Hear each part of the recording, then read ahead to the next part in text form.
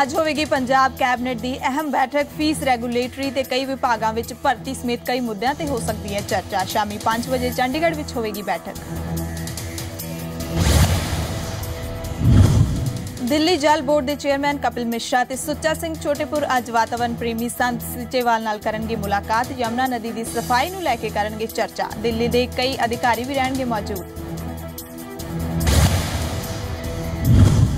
ਕਾਂਗਰਸ ਨੂੰ ਲੈ ਕੇ ਪੰਜਾਬ ਦੇ ਮੁੱਖ ਮੰਤਰੀ ਸਰਦਾਰ ਪ੍ਰਕਾਸ਼ ਸਿੰਘ ਬਾਦਲ ਦਾ ਵੱਡਾ ਬਿਆਨ ਕਿਹਾ ਕਾਂਗਰਸ ਦਾ ਭਾਰਤ ਦੇ ਨਕਸ਼ੇ ਤੋਂ ਹੋ ਜਾਵੇਗਾ ਸਫਾਇਆ। ਕਾਂਗਰਸ ਦਾ ਪੰਜਾਬ ਦੀਆਂ 2017 ਵਿਧਾਨ ਸਭਾ ਚੋਣਾਂ ਵਿੱਚ ਹਾਲੀਆ ਸੂਬਿਆਂ ਦੀਆਂ ਚੋਣਾਂ ਵਰਗਾ ਹੋਵੇਗਾ ਹਾਲ। ਕਾਂਗਰਸ ਤੇ ਆਪ ਉਤੇ ਕਥਿਤ ਅਨਾਜ ਘੁਟਾਲੇ ਦੇ ਮੁੱਦੇ ਤੇ ਸਿਆਸਤ ਕਰਨ ਦਾ ਵੀ ਲਾਇਆ ਇਲਜ਼ਾਮ।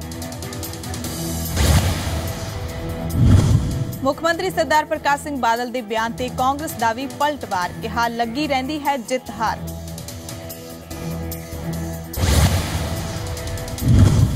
ਮੁੱਖ ਮੰਤਰੀ ਸਰਦਾਰ ਪ੍ਰਕਾਸ਼ ਸਿੰਘ ਬਾਦਲ ਨੇ ਸੰਤ ਰਣਜੀਤ ਸਿੰਘ ਢੱਡਰੀਆਂ ਵਾਲਿਆਂ ਨਾਲ ਕੀਤੀ ਮੁਲਾਕਾਤ, ਕਿਹਾ ਕਾਨੂੰਨ ਮੁਤਾਬਕ ਜਲਦ ਹੋਵੇਗੀ ਕਾਰਵਾਈ। ਵਿਰੋਧੀ ਧਿਰਾਂ ਨੂੰ ਇਸ ਸੰਜੀਦਾ ਮੁੱਦੇ ਤੇ ਸਿਆਸਤ ਨਾ ਕਰਨ ਦੀ ਕੀਤੀ ਅਪੀਲ।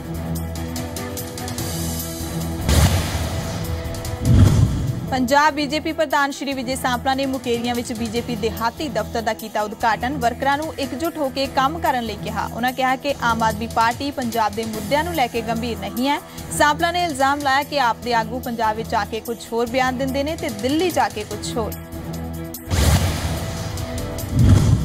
ਅਸਾਮ ਦੀ ਨਵੀਂ ਵਜ਼ਾਰਤ ਦੇ ਸੌਚੁਕ ਸਮਾਗਮ ਵਿੱਚ ਬੀਜੇਪੀ ਪ੍ਰਧਾਨ ਅਮਿਤ ਸ਼ਾਹ ਨੇ ਮੁੱਖ ਮੰਤਰੀ ਪ੍ਰਕਾਸ਼ ਸਿੰਘ ਬਾਦਲ ਤੇ ਉਪ ਮੁੱਖ ਮੰਤਰੀ ਸੁਖਬੀਰ ਸਿੰਘ ਬਾਦਲ ਨੂੰ ਦਿੱਤਾ ਸੱਦਾ। ਕੱਲ ਨੂੰ ਹੋਵੇਗਾ ਸੌਚੁਕ ਸਮਾਗਮ।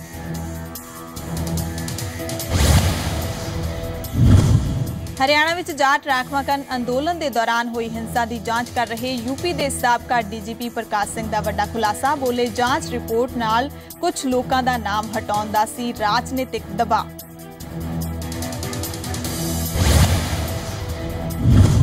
ਹਰਿਆਣਾ ਦੇ ਮੁੱਖ ਮੰਤਰੀ ਸ਼੍ਰੀ ਮਨੋਹਰ ਲਾਲ ਨੇ ਸਰਕਾਰ ਵੱਲੋਂ ਕਿਸੇ ਤਰ੍ਹਾਂ ਦੇ ਦਬਾਅ ਦੀ ਗੱਲ ਤੋਂ ਕੀਤਾ ਇਨਕਾਰ, ਤਾਂ ਉਥੇ ਹਰਿਆਣਾ ਦੇ ਸਾਬਕਾ ਮੁੱਖ ਮੰਤਰੀ ਭੁਪਿੰਦਰ ਸਿੰਘ ਹੁੱਡਾ ਨੇ ਕਮੇਟੀ ਦੀ ਰਿਪੋਰਟ ਨੂੰ ਜਨਤਕ ਨਾ ਕਰਨ ਤੇ ਚੁੱਕੇ ਸਵਾਲ। ਉਧਰ ਹਰਿਆਣਾ ਦੇ ਕੈਬਨਿਟ ਮੰਤਰੀ ਅਨਿਲ ਵਿਜ ਨੇ ਕਿਹਾ ਕਿ ਜੇ ਕਿਸੇ ਨੇ ਦਬਾਅ ਪਾਇਆ ਸੀ, ਤਾਂ ਉਹਨਾਂ ਨੂੰ ਆਪਣੀ ਰਿਪੋਰਟ ਵਿੱਚ ਜ਼ਿਕਰ ਕਿਉਂ ਨਹੀਂ ਕੀਤਾ?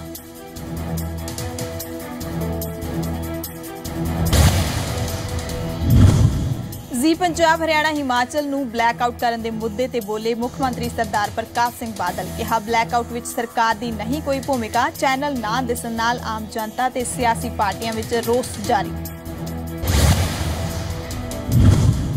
ਪਠਾਨਕੋਟ ਦੇ ਬੀਓਪੀ ਕਾਂਸੀ ਬਰਮਨ ਨੇੜਿਓਂ ਫੜਿਆ ਗਿਆ ਪਾਕਿਸਤਾਨੀ ਨਾਗਰਿਕ। ਪਾਕਿਸਤਾਨੀ ਕਰੰਸੀ, ਜਿੰਦਾ ਕਾਰਤੂਸ ਤੇ ਹੋਰ ਸਮਾਨ ਕੀਤਾ ਗਿਆ ਬਰਾਮਦ। ਪੁਲਿਸ ਭਾਰਤ ਆਉਣ ਦੀ ਵਜ੍ਹਾ ਦੀ ਕਰ ਰਹੀ ਹੈ ਪੁੱਛਗਿੱਛ।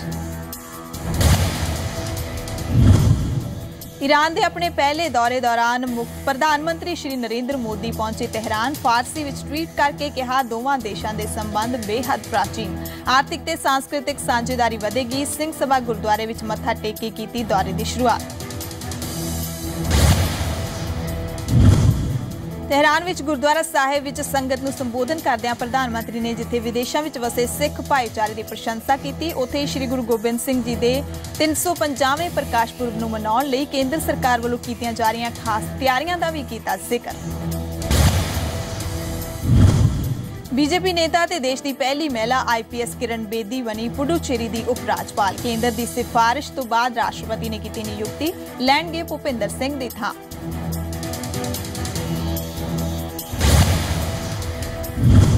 ਹਿਮਾਚਲ ਵਿੱਚ ਤਿੰਨ ਵੱਡੇ ਸੜਕ ਹਾਦਸਿਆਂ ਨੂੰ ਲੈ ਕੇ ਆਵਾਜਾਈ ਮੰਤਰੀ ਜੀਐਸ ਬਾਲੀ ਅੱਜ ਪੱਤਰਕਾਰਾਂ ਨਾਲ ਹੋਣਗੇ ਮੁਖਾਤਿਬ। ਵਿਭਾਗ ਤੇ ਉੱਠ ਰਹੇ ਸਵਾਲਾਂ ਤੇ ਵਿਰੋਧੀ ਧਿਰ ਦੇ ਤੇਵਰ ਦਾ ਦੇਣਗੇ ਜਵਾਬ।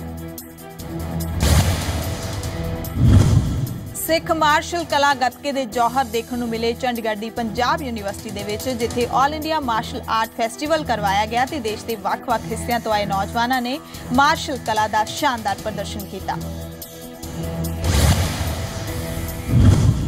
ਚੰਡੀਗੜ੍ਹ ਵਿੱਚ ਜਲਦ ਲੱਗਣਗੇ ਵਾਟਰ ਏਟੀਐਮ। ਲੋਕ ਵਾਟਰ ਏਟੀਐਮ ਦੇ ਜ਼ਰੀਏ ਬਾਜ਼ਾਰੀ ਕੀਮਤ ਤੋਂ ਘੱਟ ਪੈਸੇ ਦੇ ਕੇ ਪੀ ਸਕਣਗੇ ਸ਼ੁੱਧ ਤੇ ਸਵੱਛ ਪਾਣੀ। ਨਗਰ ਨਿਗਮ ਨੇ ਐਫਐਨਸੀਸੀ ਦੀ ਮੀਟਿੰਗ ਵਿੱਚ ਏਜੰਡਾ ਕੀਤਾ ਪਾਸ। ਦੇਸ਼ ਦੇ ਸਾਫ਼ ਸੁਥਰੇ ਸ਼ਹਿਰਾਂ ਦੀ ਲਿਸਟ ਵਿੱਚ ਚੰਡੀਗੜ੍ਹ ਦੂਸਰੇ ਨੰਬਰ ਤੇ। ਸ਼ਹਿਰ ਨੂੰ ਪਹਿਲਾ ਦਰਜਾ ਦਿਵਾਉਣ ਦੇ ਮਕਸਦ ਨਾਲ ਚੰਡੀਗੜ੍ਹ ਵਿੱਚ ਮਨਾਇਆ ਗਿਆ ਕਲੀਨ ਦਿਵਸ, ਜਿਸ ਦੇ ਤਹਿਤ ਚੰਡੀਗੜ੍ਹ ਰੇਲਵੇ ਸਟੇਸ਼ਨ ਵਿੱਚ ਅੰਤਰਰਾਸ਼ਟਰੀ ਵੀ ਲਵ ਯੂ ਫਾਊਂਡੇਸ਼ਨ ਵੱਲੋਂ ਚਲਾਈ ਗਈ ਸਫ਼ਾਈ ਮੁਹਿੰਮ, ਭਾਰਤ ਸਰਕਾਰ ਦੇ additional general solicitor of India Satyapal Jain ਨੇ ਕੀਤੀ ਸ਼ਿਰਕਤ।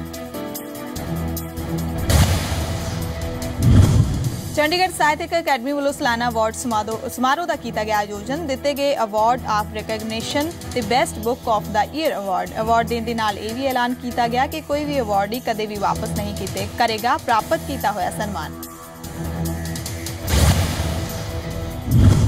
ਪੰਜਾਬ ਯੂਨੀਵਰਸਿਟੀ ਵਿੱਚ ਵਿਸ਼ਵ ਬਾਇਓਡਾਇਵਰਸਿਟੀ ਦਿਵਸ ਦੇ ਮੌਕੇ ਤੇ ਇੱਕ ਚਿੱਤਰ ਪ੍ਰਦਰਸ਼ਨੀ ਦਾ ਕੀਤਾ ਗਿਆ ਆਯੋਜਨ।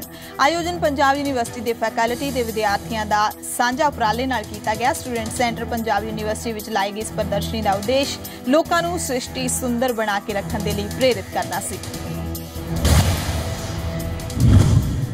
ਸ਼ਿਮਲਾ ਦੇ ਇਤਿਹਾਸਿਕ ਗੈਟੀ ਥੀਏਟਰ ਵਿੱਚ ਸੂਬਾ ਪੱਧਰੀ ਮਹਿਲਾ ਸਾਹਿਤਕਾਰ ਸੰਮੇਲਨ ਦਾ ਕੀਤਾ ਗਿਆ ਆਯੋਜਨ। ਸਾਬਕਾ ਸਾਂਸਦ ਤੇ Himachal Pradesh red cross society ਦੀ ਪ੍ਰਧਾਨ ਪ੍ਰਤਿਭਾ ਸਿੰਘ ਨੇ ਬਤੌਰ ਮੁੱਖ ਮਹਿਮਾਨ ਕੀਤੀ ਸ਼ਿਰਕਤ। ਪ੍ਰੋਗਰਾਮ ਨੂੰ ਦੱਸਿਆ ਚੰਗਾ ਕਦਮ। ਦੇਸ਼ ਵਿੱਚ ਗਰਮੀ ਦਾ ਕਹਿਰ ਜਾਰੀ। ਰਾਜਸਥਾਨ ਦੇ ਚੁਰੂ ਤੇ ਸ਼੍ਰੀ ਗੰਗਾਨਗਰ ਵਿੱਚ ਪਾਰਾ 49.2% ਤੱਕ ਪਹੁੰਚਿਆ। ਓਡੀਸ਼ਾ ਤੇ ਹਿਸਾਰ ਵਿੱਚ 44 ਡਿਗਰੀ ਦਾ ਕਹਿਰ। ਪੰਜਾਬ ਵਿੱਚ ਵੀ ਪਾਰਾ 45 ਦੇ ਨੇੜੇ।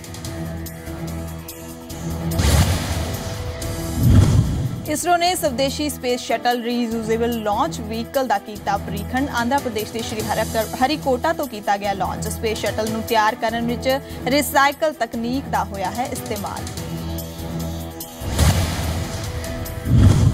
ਅੱਜ ਜ਼ਿੰਬਾਬਵੇ ਤੇ ਵੈਸਟ ਇੰਡੀਜ਼ ਦੌਰੇ ਦੇ ਲਈ ਭਾਰਤੀ ਕ੍ਰਿਕਟ ਟੀਮ ਦਾ ਹੋਵੇਗਾ ਐਲਾਨ। ਜ਼ਿੰਬਾਬਵੇ ਨਾਲ ਵਨਡੇ ਤੇ ਵੈਸਟ ਇੰਡੀਜ਼ ਦੇ ਨਾਲ ਟੈਸਟ ਸੀਰੀਜ਼ ਖੇਡੇਗਾ ਭਾਰਤ। ਜ਼ਿੰਬਾਬਵੇ ਦੌਰੇ ਵਿੱਚ ਸੀਨੀਅਰਸ ਨੂੰ ਰੈਸਟ ਦੇ ਕੇ ਨਵੇਂ ਚਿਹਰਿਆਂ ਨੂੰ ਮਿਲ ਸਕਦਾ ਹੈ ਮੌਕਾ।